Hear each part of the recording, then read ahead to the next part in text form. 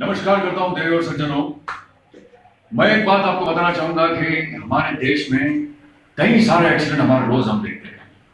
कई लोग अपने माता पिता से बिछड़ जाते हैं, कई बच्चे जो है यतीम बन जाते हैं।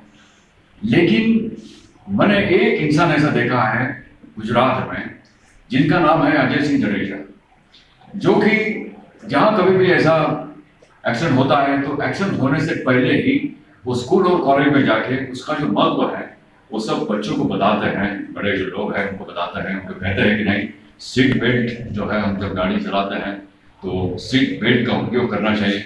उसके बाद हम जब टू व्हीलर गाड़ी चलाते हैं तो हेलमेट का भी हमें अ, लगाना चाहिए हेलमेट लगाना चाहिए।